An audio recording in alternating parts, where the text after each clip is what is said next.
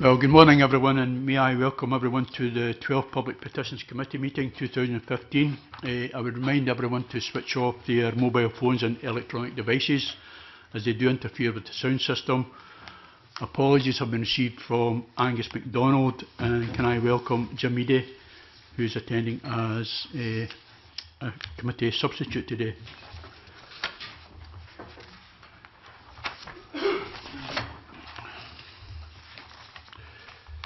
First item of business seeks the committee's agreement to take agenda items 4 and 5 on the work programme and business planning in private. Does the committee agree to these taking these agendas in private? Agreed. Thank you. Agenda item number 2 is consideration of new petitions. And the next item of business is consideration of two new petitions. The committee will hear from petitioners in each case. The first uh, new petition is PE 1565 by James Dougall on the whole of life sentences for violent reoffenders. Members have a note with the clerk and a SPICe briefing and a petition. And may I welcome the petitioner James Dougall to the meeting and uh, he is accompanied by today by Lindsay Dougall. I now invite you Mr Dougall to speak to your petition, uh, no more than five minutes, uh, to explain what the petition seeks and after which we will move to questions. Thank you. Thanks very much for allowing me to uh, address the committee today. Um, I had a bit of an IT failure last night, so I've had to resort to pen and paper this morning, so excuse me if I pause to read my notes um, on occasions. I thought uh, the way to address the, the idea of this petition would be to look at some of the reasons that are given for not having whole of life sentencing in our current statute book, and by looking at these reasons, uh, develop, uh, develop my argument of why it should be there. In thinking about the reasons why not, I think I came up with four reasons why uh, whole of life sentencing could possibly not be uh, in our statute book as of uh, today. The first reason that, that gets talked about is that judges can effectively sentence for whole of life. The second reason in my mind is 73% uh, going by the parole board figures of this year of life prisoners are not recommended for release. The opportunity for release is required to give um, prisoners hope and, and facilitate their rehabilitation. And number four, there's a sufficient deterrent in our current sentencing regime. So if I can look at those uh, reasons in turn. Uh, so number one, judges can effectively sentence for whole of life and, and doing some research into this, it, I guess it's true that judges can sentence whole of life. The only example I could really find were the Mile End murders where Angus Sinclair uh, was sentenced to a 37 year sentence. Um, he was 69 at the time, so he was 106 before he'd be eligible for parole. Um, the 37 year sentence was, was largely symbolic since he had been at large for 37 years. Um, and that was the only real example I could find where anything approaching whole of life sentencing um, had been given by a Scottish judge. So although effectively we can do it in practice, it doesn't happen. Talked about 73% of life prisoners not being recommended from, for release, and again, I, I take that from the parole board report for this year. Uh, again, from the, their report, of those uh, 27 uh, percent that, that were re recommended for release, 38 licences were, were reviewed, uh, i.e., the, the people let out in licence had to be recalled. So that was 14.9% of the population. 22 of those were recalled to custody, 8.6%, and 11 were not re-released, re re 4.3% of this year's figures. I also looked at some of the English statistics. Um, they have a, a, a, probably a more comprehensive statistic package released to the public than uh, the Scottish system currently. And for um, violent crime, the reoffending rate for violent criminals was approximately 20%. Um, 20% of that 27% comes back to that sort of magical 5% number that the 11 that weren't released out of our figures, the 4.3%. So there's 5% of life prisoners who are being released and who are going on to reoffend. And it's really this 5% that this petition is looking to target. The third point I made was um, the opportunity for release is required to give hope and facilitate rehabilitation. and logic would tell you you've got to agree with that in the broad terms that uh, if you want rehabil- effective rehabilitation, then there has to be some hope. But I go back to the 5%. For those that disregard rehabilitation, the, the rehabilitation offered, who show that they've no intention to rehabilitate, who have been through a, whole of life sentence, and yet still are released and go on to reoffend again, the 5%, that's the offenders that we'd like to target with this petition. That's the people that we see it being appropriate for whole of life sentencing. The last point I made was the sufficient deterrent in current sentencing. Again, I, I do like my statistics and I, and I looked through the Scottish statistics for this year to try and justify that in my mind. Um, is, there a, is there a deterrent in current sentencing?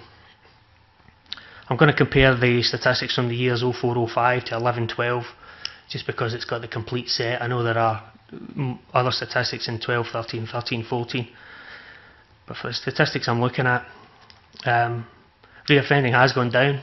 Um, in 0405, 0.61 reoffences per offender, 1112.54.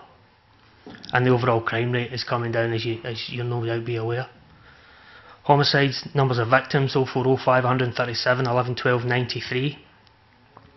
But meanwhile, while uh, crime is certainly dropping, custodial sentences 15,011 in 0405 and 1112 15,921. So custodial sentencing rising. Prison population 6,769 in 0405, 8,176 in 1112. Population of the prison rising and those in prison for greater than four years going from 2,919 to 3,078. So yes, crime is dropping, but because we're imply, applying tougher sentencing, taken to its logical, its logical argument, um, then whole of life sentencing surely must be the most appropriate deterrent, especially for the, the 5%. But do I really believe that? I don't really believe that, if the truth be told. I don't really believe that whole of life sentencing will be an adequate deterrent for the 5%. The 5% will be deterred by nothing. Uh, that's the whole point. The whole point is that these people, we need to be protected from them, the public needs to be protected from this 5% because there, is no adequate deterrent. life sentences, as you know, are made up of um, the punishment part for retribution and deterrence, and the intermediate part for protection of the public. I've talked a little bit about protection of the public, and I've talked a little bit about deterrence. I'd kind of like to turn to uh, talk a little bit about retribution. So, does the punishment fit the crime? Um, the average life sentence in Scotland, from the, the figures I reviewed, there was a report in 1996, was the last official figures. The average life sentence was 11 years, one month. Again, from the Parole Board report of this year, I did my own calculations. While no exact figures are given, my rough calculations suggest that life sentences are approximately, on average, 13 and a half years currently is actually served.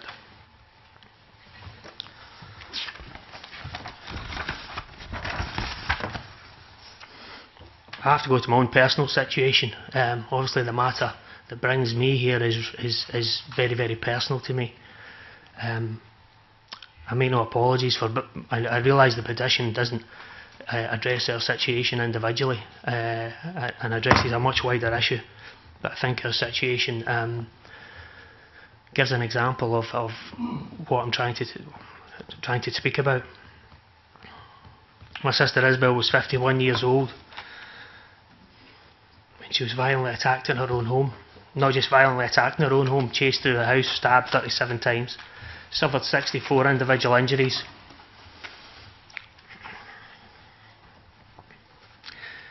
Eventually fell, jammed between a, a chair and, and, a, and a cupboard. At least three or four of the stab wounds penetrated vital organs. She, she died at the scene. You know, a partner of, of uh, 30 years had three stab wounds as well. The offender, the offender received a minimum sentence of 26 years. He was 19 when the offence occurred and will be released when he's 45, assuming that uh, he gets through the parole board. Same age as me. In fact, six years younger than Isabel when she was murdered in her own home. A relatively young, fit man who's already been through the system. who's already had many chances at rehabilitation, who's had custodial sentences, who's been through the system a number of times. And it affects not only us, myself and, and Lindsay, my sister here, but my mum is 82. Isabel also had six nieces and nephews, the youngest of whom was three at the time of the, of the attack. This individual's already been given the opportunities to reform. How can you be, be sure, if we do release him, that he won't offend again? How can you be sure he's not one of the 5%?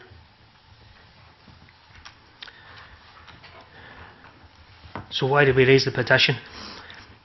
We raised the petition to protect other families from similar situations.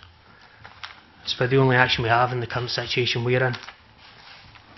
I hope that the petition shows that there's support for tougher penalties, not in all circumstances, but for those violent repeat offenders who go on to commit murder.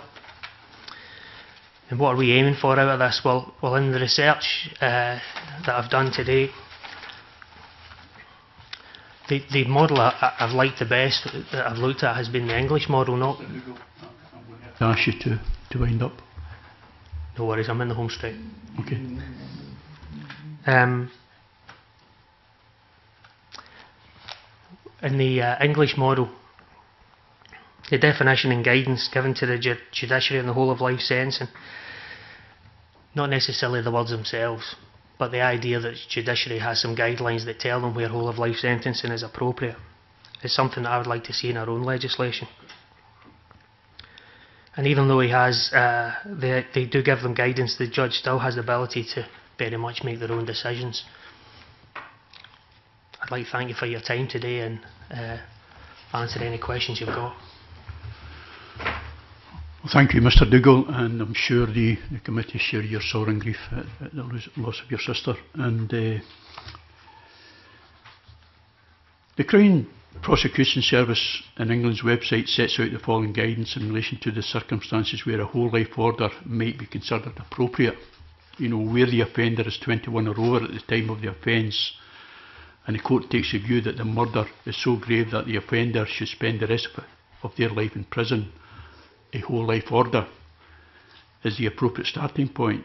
Such an order should be specified where the court considers that the seriousness of the offence is exceptionally high, and such cases include the murder of two or more persons where each murder involves a substantial degree of premeditation, the abduction of the victim, or sexual or sadistic conduct, the murder of a child involving the abduction of a child or sexual or sadistic motivation, a murder done for the purpose of advancing a political, religious or ideological cause, or a murder by the offender previously convicted by murder.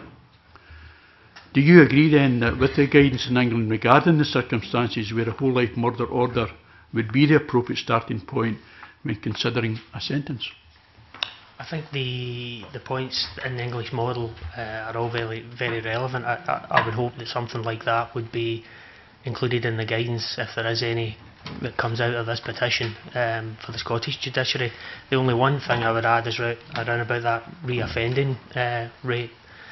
Uh, the key thing in our mind is um, people that show violent tendencies who repeatedly uh, don't uh, don't follow through with the rehabilitation, don't take advantage of the opportunities offered to them by the system, who then go on to commit murder, that they should also be uh, eligible for the whole of life sentencing. Questions? Ms MacAskill? I express my sorrow for your loss. Do you accept that there are other prisoners within the system at the present moment who have been given tariffs of, say, 30 years, uh, to whom this may very well end up a whole life sentence, given that statistically uh, the longevity of a prisoner is probably lower than the average member of the general public? Uh, I'm sure it is, it, statistically you're probably right. Do you also uh, uh, agree that those who are, well, the mandatory sentence for uh, murder is a life sentence, and that people can be released on parole, but they are on lifelong licence until the day they die, and can be recalled not simply for the commission of another offence, but simply for breaches that can relate to their lifestyle, such as who they associate with alcohol, drugs, or even where they're staying. Do you think that that provides some, although absolute certainty, some uh, ability for the parole board to exercise control? There is some ability for the parole board to exercise control. Um, you, you mentioned that uh, uh, licences can be reviewed, and, I did say that 38 licences were reviewed last year, 22 recalled to custody, so they obviously weren't just fraternising with the wrong people or, or not living in the right places. They'd done something that they needed a custodial sentence, um, and 11 of those not released. Uh, so there must be, and again I come back to the five percent. You're right; it's only a small percentage of people uh, that that this petition's targeting, and, and the statistics that you're talking about. I think your argument is we cover most of the cases with the current legislation that's in place. Yes, you do cover most of the cases, but for the five percent that you don't cover, the ones that um, might have a chance of getting out, and in our particular example that the, the offender was a relatively young man who's probably got the uh, provided his rehabilitation uh, uh, is good enough from from the parole board's point of view he has an opportunity anyway to get out of prison at a relatively young age a, a, relatively fit man at 45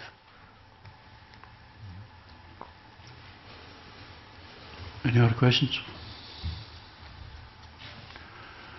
Mr Dougall, would you be satisfied if in situations where a whole life sentence might be used in England, uh, the minimum sentence that are fixed in Scotland were more clearly than whole life? sorry can you repeat the question Would you be satisfied in situations where a whole life sentence might be used in England, the minimum sentence that are fixed in Scotland were more clearly for whole life? It would certainly go a, a, a long way. The English model certainly uh, defines very, uh, outlines very succinctly what what particular crimes can be eligible for whole of life. And again, the one thing in my mind that the English model doesn't have in it that is, is strongly in my thoughts is about the the reoffending rate. So people have violent offences, not necessarily murder in the past, but who then go on to uh, disregard that rehabilitation and commit murder, then that whole of life sentencing should be an option for those people also. Any more questions? Okay. The committee will now decide what action it wishes to take on this petition. Members have a note by the clerk suggesting a possible course of action. What do the members use? Ms MacAskill? Chris, I mean, this Parliament has established a sentencing council. The government is in the process of establishing it. It's not up and running yet, but the direction of travel is now being set uh, by uh, Michael Matheson. It does seem to me that this is an issue that we could write to the Scottish Government and ask whether this would be an appropriate thing, uh, uh, issue uh, for the Sentencing Council to consider because certainly having pushed through the legislation, the whole basis for establishment of a sentencing council is to take on board concerns that the public, not just the judiciary, have. Now, it won't necessarily be in the next few weeks, but it's certainly, I think, the desire of the government to have the sentencing council established probably before they demit office and face re-election. So it won't, it, it won't be an interminable delay. Any other action points? Mr Carlaw? Uh, thank you, Convener. Um, I would be interested to know the incidents in which the Crown Prosecution Service's uh, option of a whole life sentence has been exercised in the period since 2001, um, which is when the option was extended in Scotland to prescribe a sentence which, in practical terms, was apparently manifestly longer than the anticipated life expectancy of the uh, accused and convicted. And similarly, to know on how many occasions in Scotland that option made available since 2001 has been exercised, because I think it would be useful in considering the petition uh, to have some understanding uh, as to how often. Uh, I know the circumstances probably are more detailed than we could enter into at this stage, but to understand at least how often either of these options has in, in practice been employed. Anything else? No. Committee agree then to, to, to write to Michael Matheson, take on board the points raised by Jackson Carlaw. And with regards to uh, Ms MacAskill's point, right to the Justice Secretary, could we maybe also ask uh, when the plans are likely to establish the uh, Sentencing Council? Agreed? Okay, thank you colleagues. Uh, can I thank uh, Mr Dougall and Ms Dougall for attending. Uh, I now suspend for a minute to allow the table and the next petitioner to take the seat please.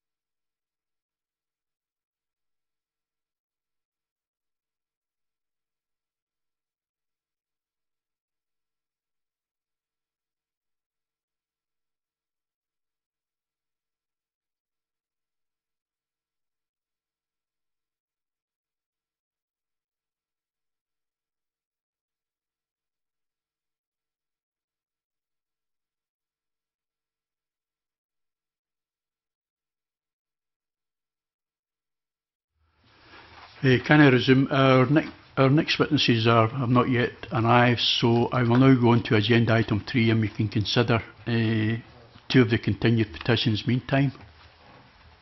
So we can move on to agenda item number three, uh, is consideration of continued petitions. And the next item of business is consideration of six continued petitions. The first petition is PE 1351 by Chris Daly and Helen Holland on time for all to be heard. And members have a note by the clerk. Colleagues, could I say that uh, this petition was lodged in 2010 and it's taken five years to get to this point. I am very much welcome the announcement of the inquiry. and I hope that, that it will enable all victims of, of historical abuse to be able to come forward and testify. And I would also like to put on record my thanks to the petitioners for bringing this petition to the Parliament and I'm pleased that the outcome is formal, is that a formal inquiry with full powers. Is there any other, uh, Mr Wilson?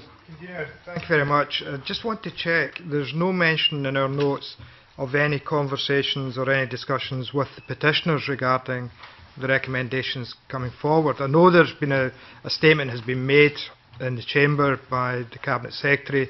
I know the action that's been proposed, uh, but it would have been useful to find out whether or not the petitioners themselves had any comments uh, on the issues that have been raised in the ministerial statement, uh, because I am aware that there have been a number of press comments made from uh, survivors of uh, institutionalised abuse in the recent weeks and including up to the weekend. And it would have been uh, helpful, I think, to have understood whether or not the petitioner uh, at the present time was happy that this petition be closed. To the penny. I've just been advised here, Mr Wilson, that the, the petitioners were involved in the interaction and the recent work by the Scottish Government and we've not had any, any contact uh, from the petitioners. Mr MacAskill? We should just close the petition. I think, you know, if there are issues regarding the nature of the proceedings, that should be a discussion between the petitioners and and those now, you know, charged. Uh, uh, Sheriff O'Brien, uh, I, I've no doubt, you know, there'll be discussions as to a whole variety of, of, of issues relating to the conduct of the inquiry, who may attend and representation. So I think the petitioners have achieved what they set out to do, and we should allow uh, Sheriff O'Brien now to enter into discussion with them, and I've no doubt she will, as as previous inquiries have always discussed with those with uh, legitimate interests. David? Um, Convener, I'm quite happy to back, back Kenny MacAskill. What the petitioners have asked for um, is now in place, and uh, also the three-year time bar in civil cases is going to be brought forward as well. So I think everything that the petitioners have asked for is now there um, for us to move forward.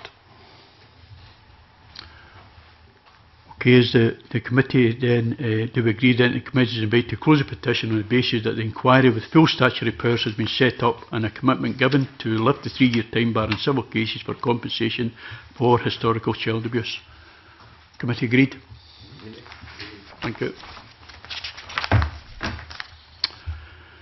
The next petition is PE 1482 by John Womersley on isolation in single room hospitals. Members have a note with the clerk and submissions and can I invite contribution from members? Mr Um, Carlaw? I'm happy uh, to suggest that we close this petition. We have written and communicated with the government on a number of occasions. Um, the issue has also been discussed in Parliament. The government has no plans to change its uh, current policy, although it said it will keep the policy under review. Uh, and that is a position that has been widely uh, welcomed and accepted on all sides within Parliament. Uh, and in those circumstances, uh, I don't see any productive uh, reason for us to maintain the petition at this time. Members agreed? Thank you. The next petition is PE 1493 by Peter Gordon on a Sunshine Act for Scotland. Members have a note with the clerk. Can I invite contributions from members?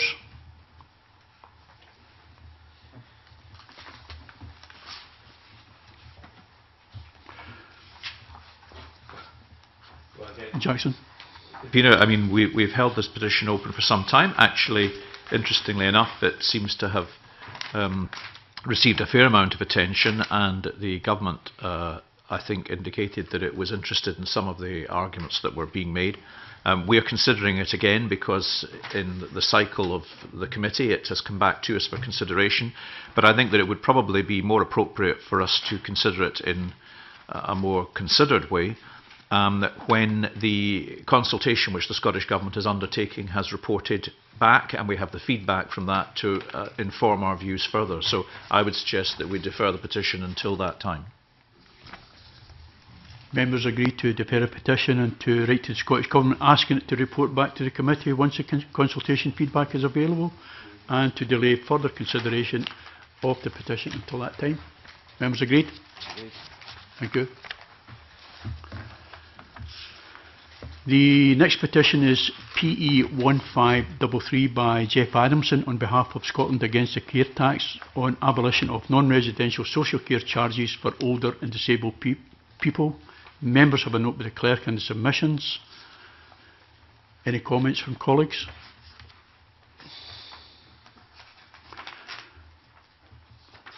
Colleagues, could I therefore say that uh, I'm quite concerned about the apparent lack of cooperation with regard to setting up a roundtable discussion and constituting a working group that includes representatives, rep representatives of disabled people's organisations.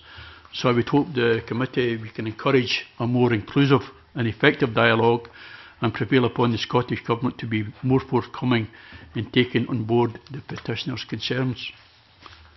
So will the members then agree to write to the Cabinet Secretary for Health and Wellbeing and Sport asking her to respond to the issues and concerns raised by the petitioner? I'm happy to do that. So, I'm happy to do that, convener, but I, I have to express a degree of frustration because I do feel this is now on something of a merry-go-round, uh, this petition. Um, there was very widespread uh, concern within the Petitions Committee when this issue was first aired. I think that we did think that it was that there were actions that could be taken. Uh, that did endear a degree of support and sympathy from the Cabinet Secretary. We were told that these matters, however, were all being subject to sort of uh, agreement through COSLA, to whom matters had been divested, I think, years ago without really any progress in the interim.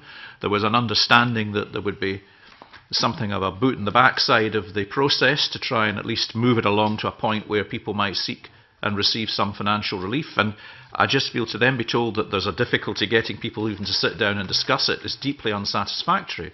Now, I'm happy that it was a matter that was divested to COSLA by the Scottish Government if they intend to do something about it, but it is within the government's ability to be more direct in its guidance or to evolve a more uh, emphatic policy. And so I think we should, in writing to the Cabinet Secretary, say, look, we accept the process, but if the process isn't one that ever has an end at the end of it, then frankly, we would like to see the Cabinet Secretary tell us what alternative there might be to that in order that something actually can be done to advance the concern of these people who are currently paying care charges at a level that many of us think was inappropriate and not appropriate, well, and unacceptable, in fact. Any other points? Jim? Convener, I, I think um, there's clearly an issue um, here, otherwise the petitioners would not have brought forward uh, the petition. I think it's the point of principle is that if people are not charged for their NHS care, um, but they are charged for social care, there is an issue of equity and fairness. But I think we, we should recognise that the Scottish Government has said that they wish um, to achieve the objective of a more consistent and fairer approach to charging. Uh, so I think that commitment is there. I think um, it is something that should be taken forward by the charging working group. And I think what we would seek as a, a committee is further clarity on what the timescales for that process is and when we can expect recommendations to come from the, the uh, charging working group to the Scottish Government and when we can expect the Scottish Government um, to bring forward um, recommendations and proposals in this area. John Wilson. Thank you, Convener. Like Jackson Carlaw, I've got concerns about the way this has been handled by the Scottish Government, and I'm, I'm concerned about the third paragraph in the Cabinet Secretary's letter, where it actually talks about COSLA's Charging Guidance Working Group already provides a roundtable forum where COSLA, Scottish Government, local authorities and third sector organisations are able to discuss the issues around charging. What I'm keen to try and get from the, the Scottish Government uh, when we write to them is to find out exactly what the Scottish Government's position on this is. Uh, because while it was uh, all fair and well for the Scottish Government to leave it to the COSLA Charging Guidance Working Group to work on this. The Scottish Government are involved in that working group and it would be useful to know what uh, input the Scottish Government officials are having in that working group and what direction of travel is in relation to coming to a conclusion regarding the charging regimes that are being applied by local authorities. Because there is a, an issue here in terms, of, and has been raised by the petitioners in the past, of a postcode lottery type situation where some local authorities are charging for social care, others aren't, and the charging regimes that are being applied vary across the country where they are being applied. And I would like to know what the Scottish Government's uh, input into this debate is and what advice the Scottish Government are giving local authorities uh, throughout Scotland in terms of charging for social care at the present moment and in the future. Jackson? I'm being unhelpful in taking a second bite of the cherry, but the, I think the thing that really concerned many of us at the time the petition was initially heard was that the threshold at which people pay income tax has now increased to over £10,500, and the Westminster Government have said in due course to £12,500. But the level at which people pay care charges has not moved at all and continues to be applied at something like £6,500 which meant many people who are now exempt from paying income tax or from paying other taxes are now being hit with this tax, which has not been reviewed in the interim. And I, I think this is what many people were looking to see some progressive uh, policy attached to, and the delay in which I think means that there are many people today who are being charged when I think we felt as a committee um, there was a very good argument for an equalisation of that uh, charge uh, basis which is why I'm disappointed that we seem to just be in something of a circle at the moment. Okay. Any other points? Can we therefore agree that we will try to encapsulate most of the points that was raised here eh, in our letter to the Cabinet Secretary, tell her of our frustration that this seems to be going round and round in uh, uh, one giant circle uh, with no end in sight. So can we agree then we'll come up with a form of words and uh, we'll write to Cabinet Secretary with, with that response. Agreed. Agreed. Thank you very much, colleagues. Just go on to the next continued petition. So we go on to this one. Yeah, we're going to finish and this then first. af- We'll finish this one yes, first, yeah. finish that one first and then go Yeah, back to the okay. next one. The next petition is PE 1549 by Alan Clark Young on concessionary travel passes for war veterans. And members have a note with the clerk and the submissions. Can I invite contributions from members?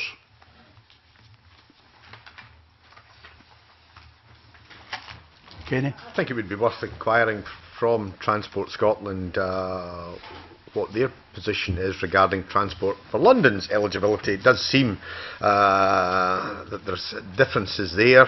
Some of the reasoning put forward by Transport for Scotland may or may not apply.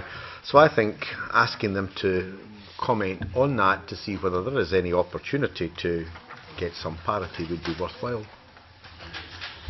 Hanzala? Um, I feel quite strongly about this issue. I'd actually raised it in Parliament as well, where I'd asked the Transport uh, Cabinet Secretary to explore the possibility of free transport for our veterans.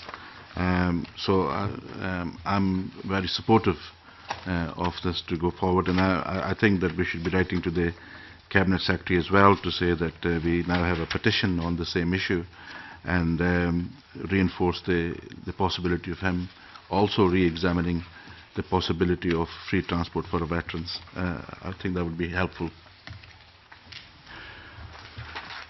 Jackson?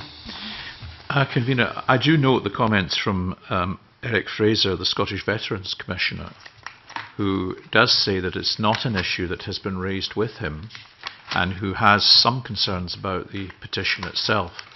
Uh, and I think that should at least give pause for thought uh, in any further discussion that we have. But I'm happy to hear the views of those that we might write to in the interim. But uh, I was struck by the slightly different approach being taken by a number of the different organisations representative uh, of veterans who obviously want best to seek to advance the interests of veterans, but at the same time did want to ensure that there was something fair and equitable about it and not something that would lead to them being divorced in some way from the wider community. So I, I, I was impressed by those remarks too. Any other comment? Committee therefore agreed to write to uh, Transport Scotland and uh, to consider replicating transport of London's eligi elig eligibility criteria for veterans and to write to the Cabinet Secretary. Agreed? Thank you. The final continued petition today is PE 1554 by Jackie Kelly on behalf of Leonard Cheshire Dis Disability on improving the provision of disabled friendly housing. Members have a note with the clerk and the submissions and can I invite contributions from members?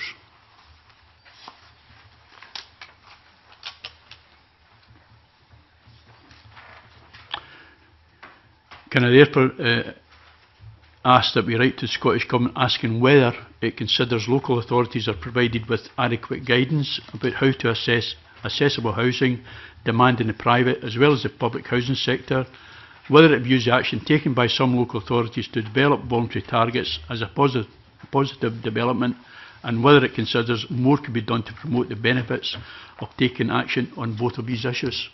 Members agreed?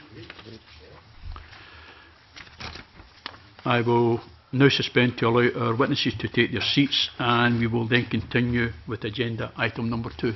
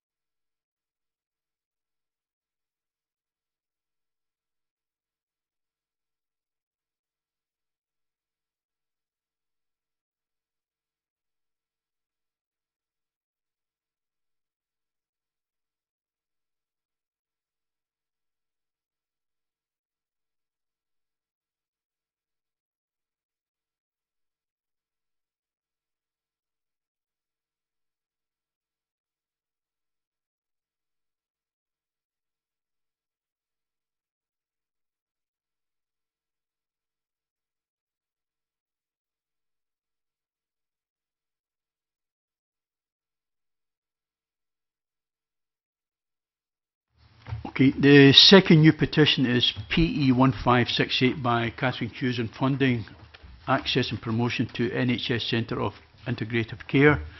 Members have a note the clerk and a SPICe briefing and the petition and submissions. And can I welcome Elaine Smith, MSP, to the meeting, who, who has an interest in this petition. Can I also welcome petitioner Catherine Hughes to the meeting. She's accompanied by Irene Logan from Fibromyalgia Friends Scotland and Dr Patrick Trust, a retired GP. I now invite Ms Hughes to speak to her petition for no more than five minutes and we will then move to questions. I thank you for the chance of coming before your committee as a representative of the patients who depend on the NHS Centre for Integrative Care. Given the urgency of the situation and the extreme stress being caused to patients, carers and staff, We are very fortunate to have many strong supporters, including the Health and Social Care Alliance Scotland, the cross-party group on chronic pain, and the latest individual who contacted us just yesterday was Jane Hawking, the former wife of Professor Stephen Hawking, also offering her support. We really are dismayed to be here again, appealing to government for their intervention, as we thought in 2005 when I was part of the successful campaign team that stopped the closure of the inpatient unit, assisted by cross-party political support and intervention, that the hospital's future would now be secure.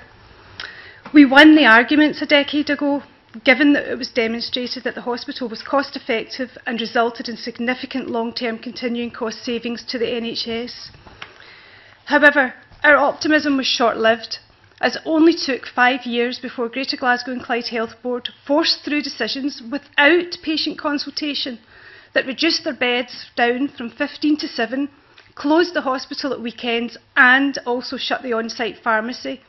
And now we have the ultimate blow, as some health boards are now taking away the hospital's patients. All this is resulting in death by a thousand cuts, and his closure by the back door by reducing and running down the services to patients who are some of the most vulnerable and seriously ill people in Scotland. This is not just a plea to stop harm to a hospital, but to put an end to the bullying going on of patients, because this is what it amounts to when health boards tell people they will be barred from a hospital of their choice.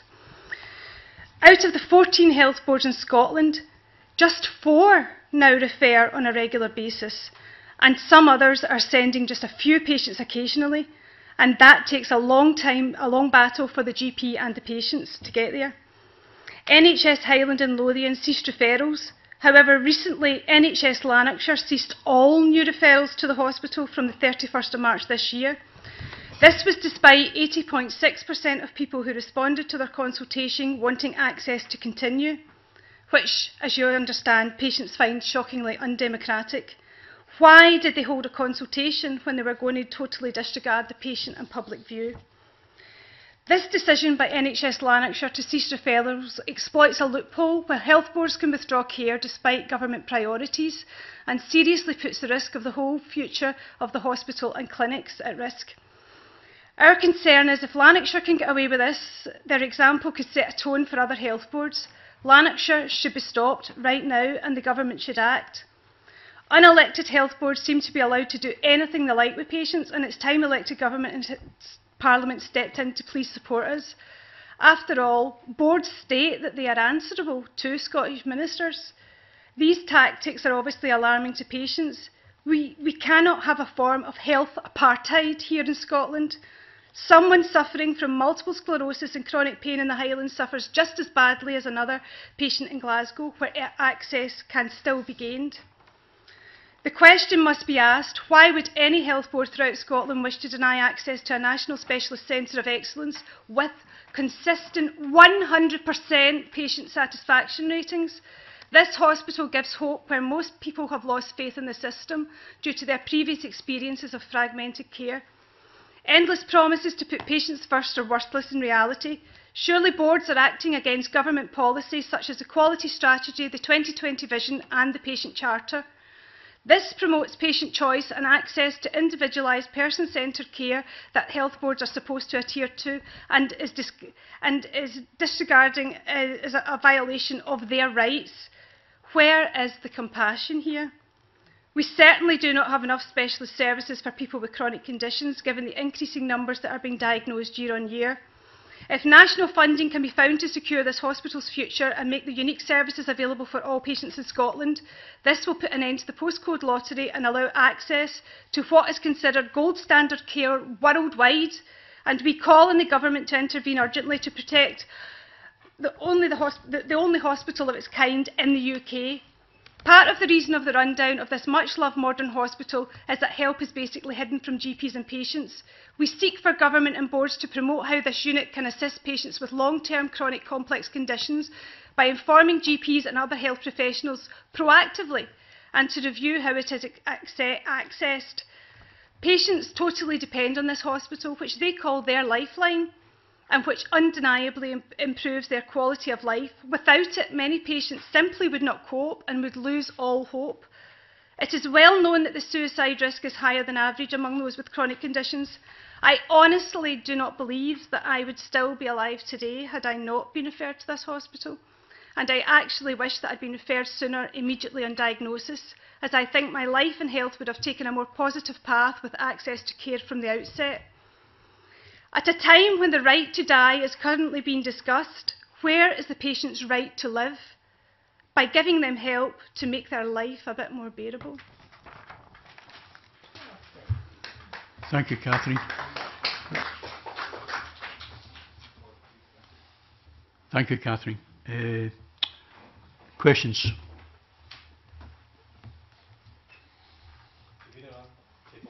Jim? Um, Thank you very much, uh, Ms Hughes, for your um, opening um, remarks.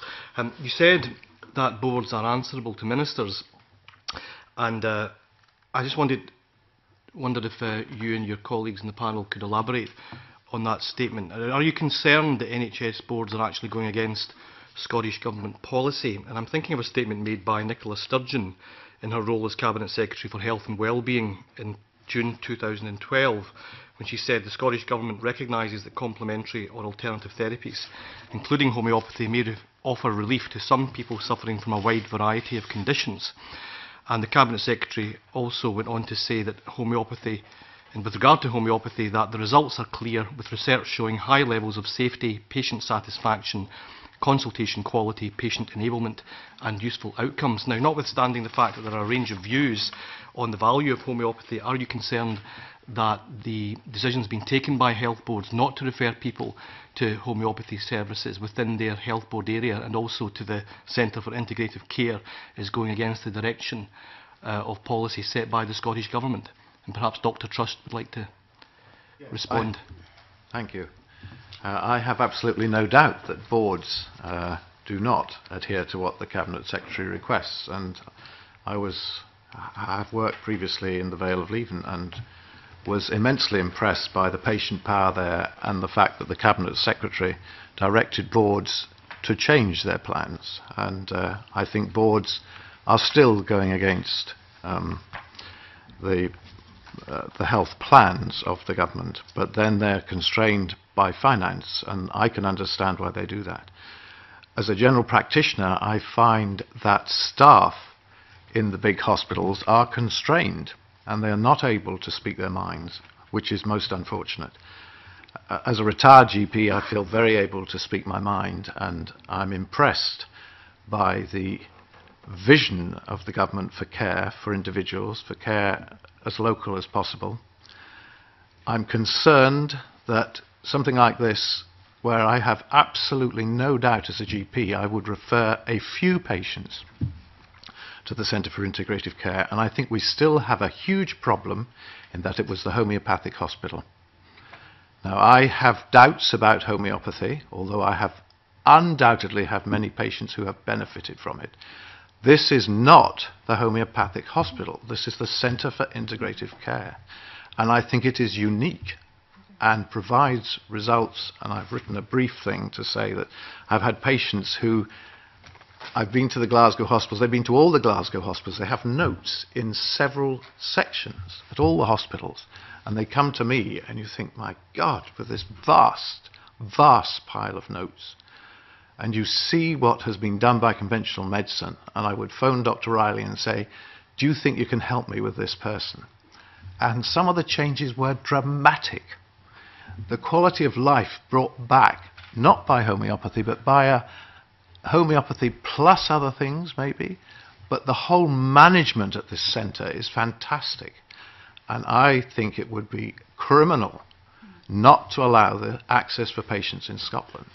This is particularly so for patients at disadvantage. And I have not looked at the patients who go to the homeopathic or the Centre for Integrative Care, but I came from a very deprived area in G83, and these people are not able to cope well with very complicated chronic disabilities.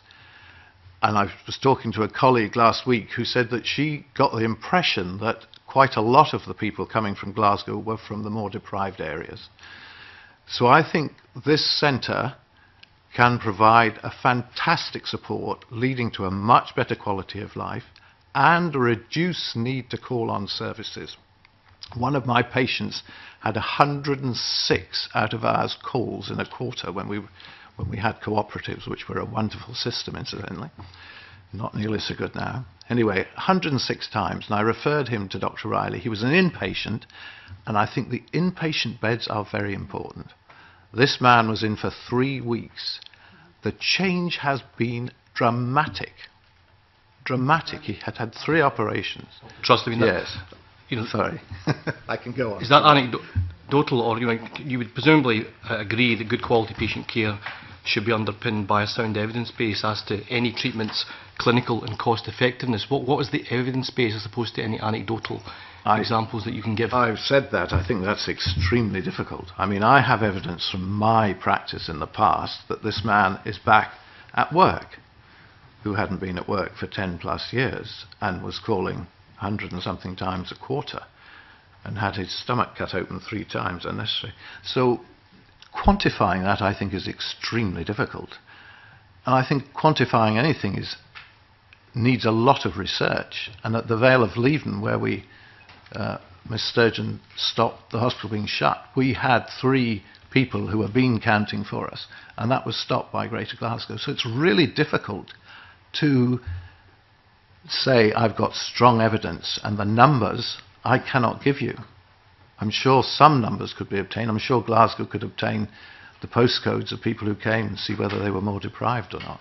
Because I think in the area where I'm in Helensburgh, they go off to various things to get help and pay for it. But I think getting evidence for this is extremely difficult. But I think it's very important people do not see this as save the homeopathic. It is not that. Very definitely not that. And I, I personally did not use homeopathy. But I still think there is evidence from the centre that people who had a terrible quality of life and could not function are now able to function. Now, I can't quantify that for you. Okay.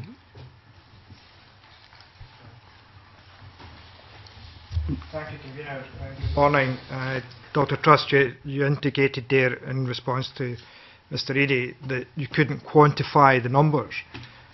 Why can't we quantify the numbers?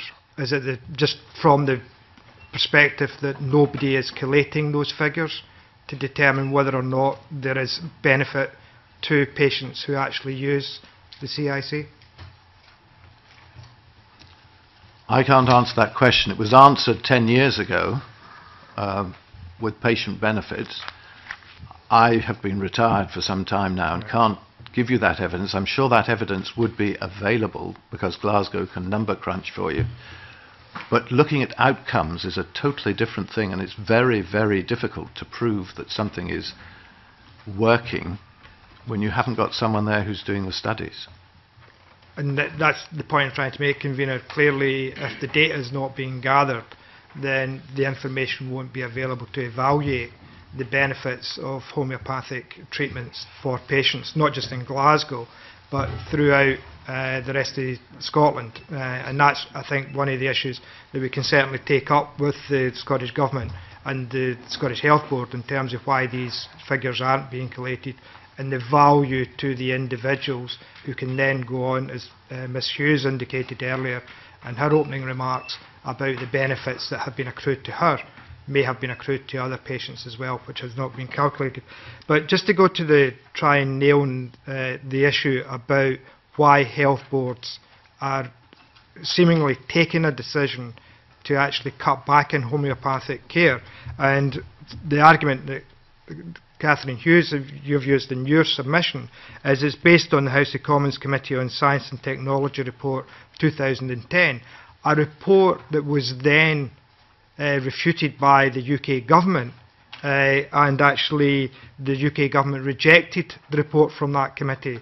But is it your assertion that some of the health boards in Scotland are still using that report from 2010 to justify their actions in cutting back support for the Centre for Integrative Care in Scotland? Yeah, definitely. And uh, the, the, the other thing is that um, I would say that I think three people signed that report out of 14. Um, so that I mean, look at the figures there. And can I just say, picking up on what Patrick Trust was saying about um, that, that whether it's can be quantifiable how people are helped. There was some research actually done by Dr Reilly along with a colleague and it actually showed that the patients who attend the hospital, and some of this, this information is actually in the, the petition, but 40% reported less consultations with their GPs, 30% reported less patient, um, outpatient um, ambulatory visits, 36% reduced the amount of their conventional medication required, and 70% also had a useful improvement in the presenting complaint. And 67 um, an improvement in their general mood and well-being. Now you can't put a price on that. I mean these people's lives are actually being improved and I know money is important but this actually saves money in the long term so I can't understand why there is an issue about it. And I don't disagree, Ms Hughes, in terms of some of the assertions you're making, but to go back to some of the issues you've raised in the petition, and one of the concerns is that if the money is not being made available nationally and is dependent on local health boards making referrals and making a contribution towards the CIC, what do you see the future of the CIC being? Yeah. If they don't get referrals, it'll die. I mean, then that's basically what, what, what they're trying. And please don't let this hospital die. That would be the last thing. It, it would not only be a loss to Scotland, the UK, because it's the only unique hospital of its kind. We believe it's also the only hospital of its kind in Europe. Um, but it would be a loss to medicine as a whole. I mean, the, we, we had letters from the, the, the medical students who actually went there before the BMA voted to stop sending them, and they, they, they reported what, how much it had improved their learning and understanding, and how it made them a better doctor because it was a different branch of medicine that they were learning that increased their understanding of the patient because they were taking a much more holistic view. And my my dad was actually very ill in hospital, and there was a doctor who stood head and shoulders above everybody else. And I had a conversation with her, and she actually told me that she had went to the, the Centre for Integrative Care as a student, and the, the, the difference in her compared to her other colleagues was outstanding. The other issue uh, raised in your petition is the issue about consultation with patients, or, or the lack of consultation, or where consultation is taking place, the failure to act on behalf of the patients uh, who have responded to, and you use some figures in uh, NHS Lanarkshire, the health board that I know well, uh, you use some of the figures from there. Do you think the consultation, particularly in NHS Lanarkshire, uh, was actually negated by the board uh, and led to false hope for many of the patients and those who responded to the consultation exercise. I know there was a lot of um, concern over what NHS Lanarkshire did um, and the report that they produced. It didn't include a patient narrative. That was, um, I mean, it was voted down by uh, nine people voted for it, um, three against and one abstention. But what concerns us is, do you know they never even wrote to the patients to tell them the consultation was taking place? Now, what? How is that moral? You I mean you, you you think you would write to the very patients that go to the hospital to tell them? Not even the ones in their own health board. I mean, and they're not even telling them that these clinics are probably will, will, will- cease because that, that that's what they're planning. They have they will th all new referrals will, will, will stop, so all the figure all the numbers will dwindle.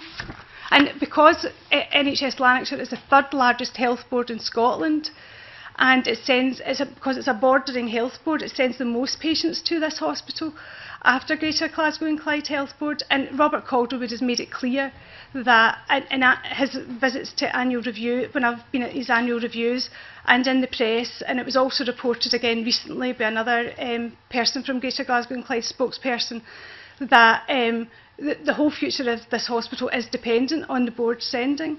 So national funding is the only thing that's going to really save this hospital now. We need to take it out of the health boards from deciding. I mean, it is a national hospital. It serves the whole of Scotland. Um, I can't understand what the issue is.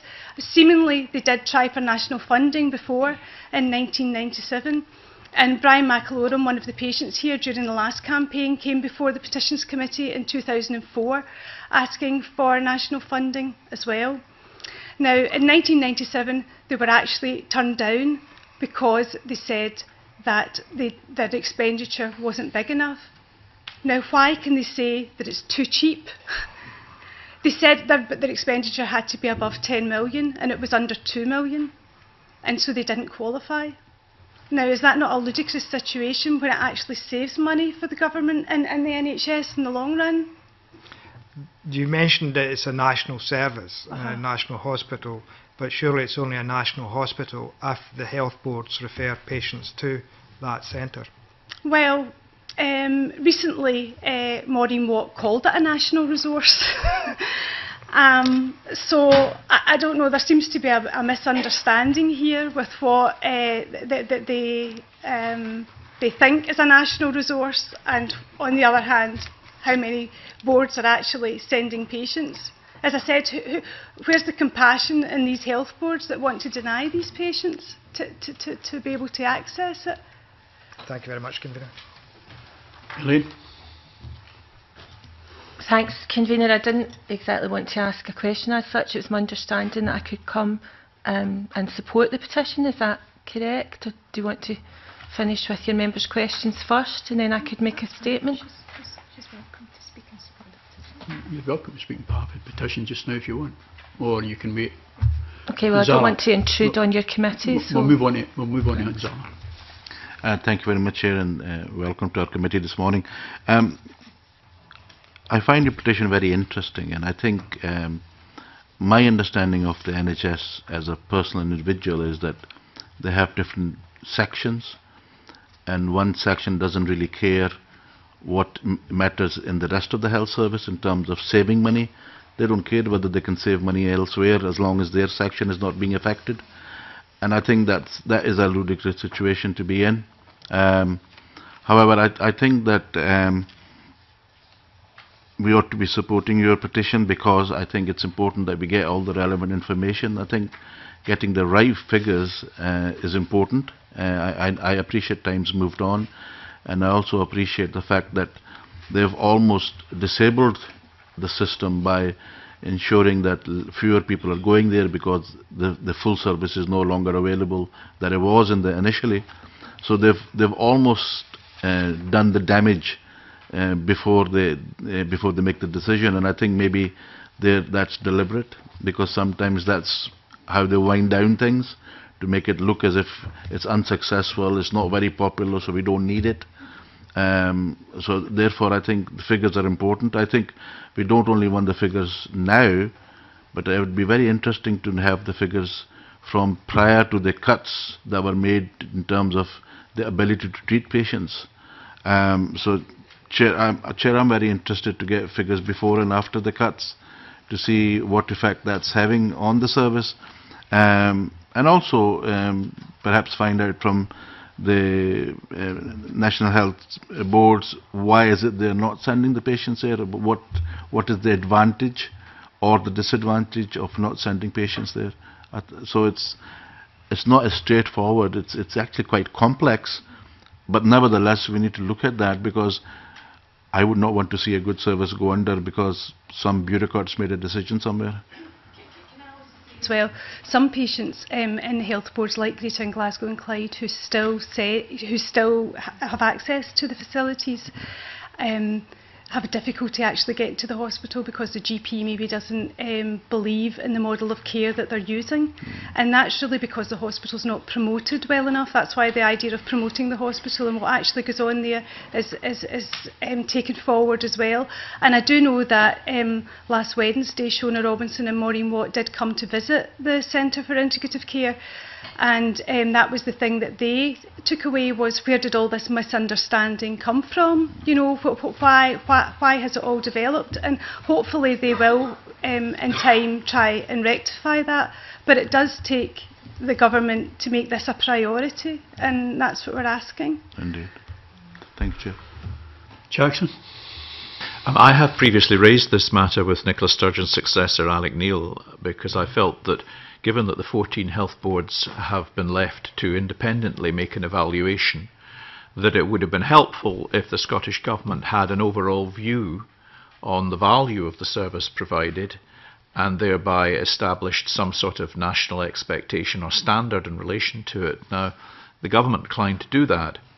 My understand at that time, so perhaps the visit you refer to may lead to something different, and it will be interesting to find out if we write to the Scottish Government if that's so. My understanding is that an absolute majority of health, there is an absolute majority of health boards who have never referred anybody to the centre, and I think you probably articulated why, um, and it's nothing to do with finance. It's because they do not believe in the model of care that is provided. Um, and it is a fact that a very significant body of clinical medical opinion regards it as a complete and total waste of time and money. I'm stating that because that is what is said. I'm not offering an opinion as to whether or not I agree with that assessment, but it nonetheless is, I think, enormously influential in the decisions that have been reached by health boards. Um, the centre is in the care of NHS Greater Glasgow and Clyde. It has depended upon its viability on the referrals to which you have made reference, which have been declining uh, in recent years, possibly from health boards that were willing to uh, uh, take a favourable view of the model of healthcare, so it could be for financial reasons, or it could be because they too are reacting to that pressure that I alluded to a moment ago.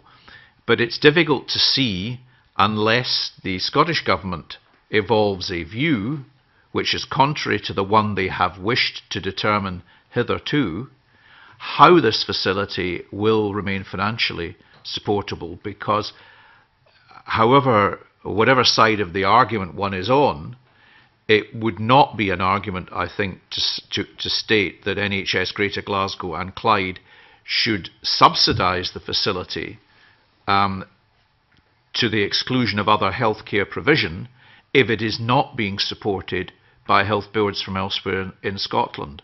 So I would have thought the key in all of this has to be, uh, and I don't know if you agree, but it has to be the direction or leadership that the Scottish Government wishes to bring to the issue, because without that, I can't see any other prognosis uh, developing.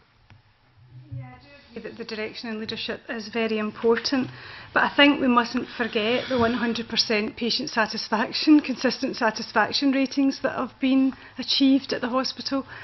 And that means that, um, I mean, I don't know many other um, facilities that can, uh, you know, boast of that. And it doesn't actually look very good if a facility is getting 100% patient satisfaction ratings, saving the NHS lots of money as well. And yet they're the ones that are being targeted and turned down. Where's the common sense in that? I mean, it just that that that that that, that to me doesn't make sense. And the sums are not really being done because I remember during the last campaign they actually calculated that one patient from going there saved they saved over a hundred thousand pound. So, the problem though, and you refer to common sense, the problem with common sense is that in practice it's not very common. Um, and therefore, as a basis of argument, it doesn't really advance anything. Uh, I'm afraid that it would require, I think, direction and leadership.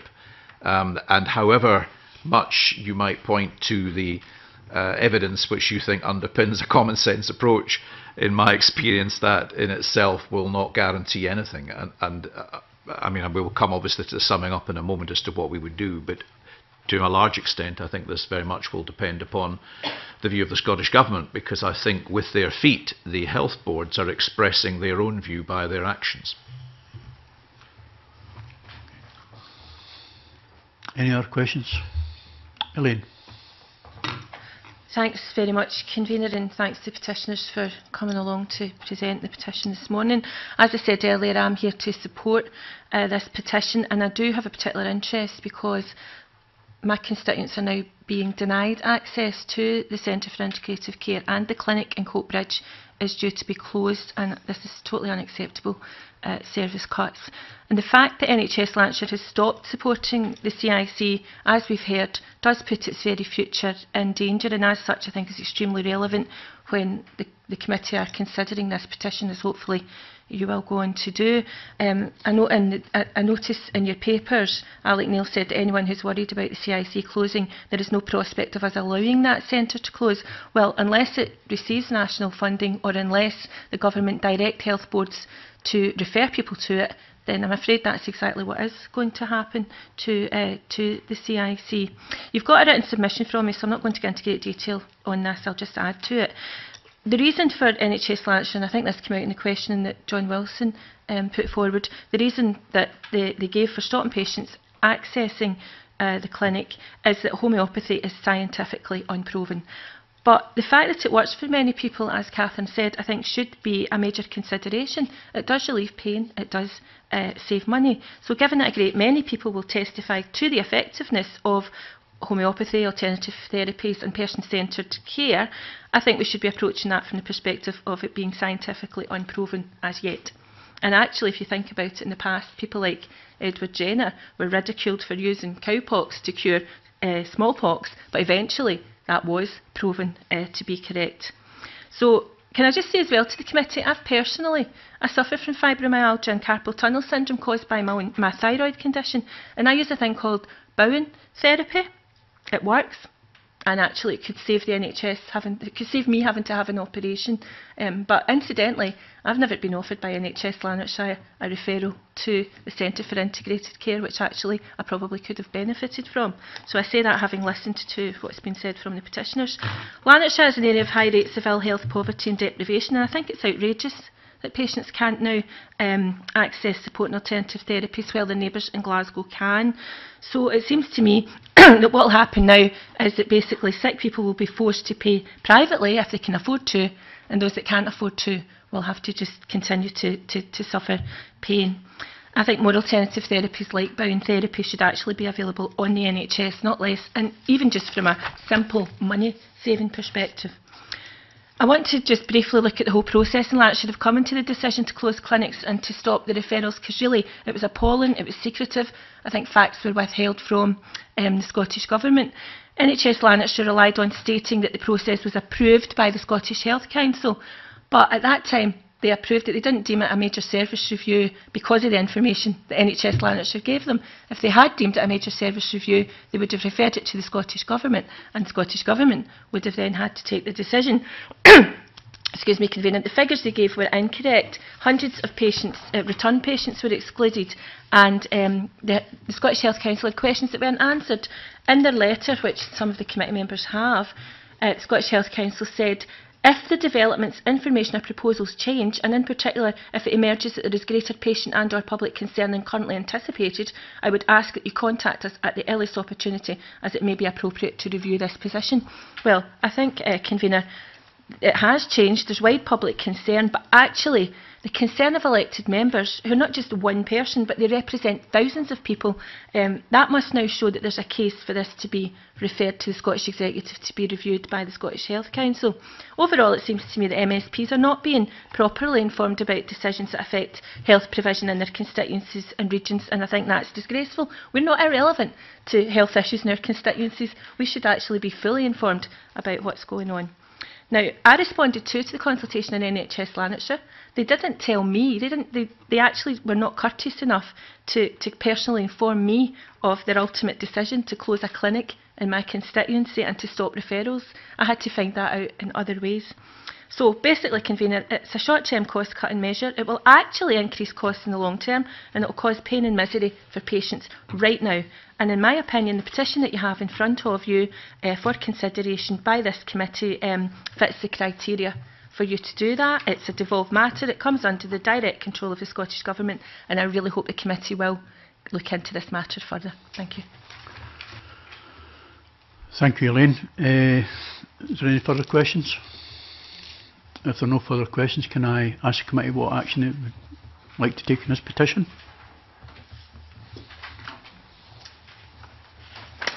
Jackson?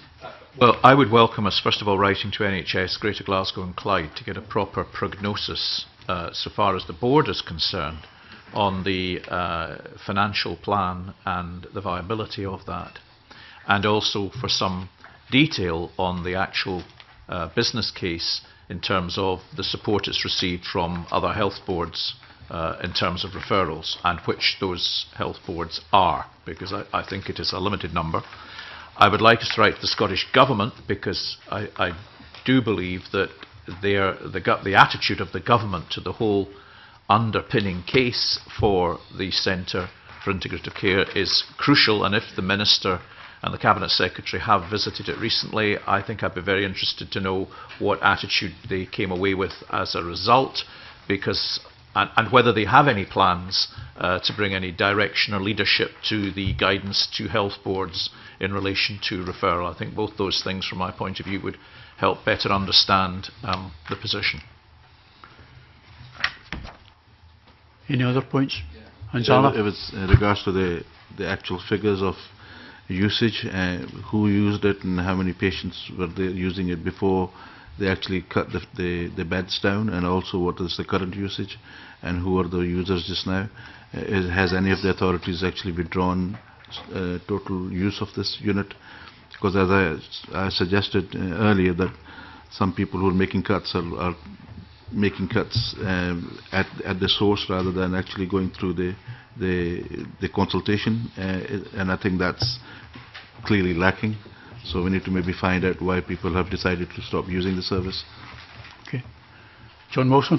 Convener, can I uh, follow up from Jackson Carlaw's comments about writing to Greater Glasgow and Clyde Health Board?